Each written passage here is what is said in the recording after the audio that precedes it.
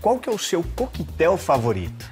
Ai, Félix, difícil responder porque eu adoro coquetéis. E para você? Ah, meu coquetel favorito é sempre o próximo, né?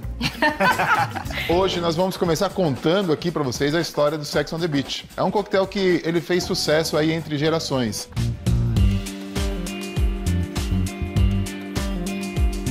Vamos fazer um coquetel chamado Lagoa Azul. E lógico, o nome já faz a gente lembrar daquele filme da sessão da tarde. Agora ele vai ensinar outro coquetel cheio de estilo e sabor, o Rainbow Shot.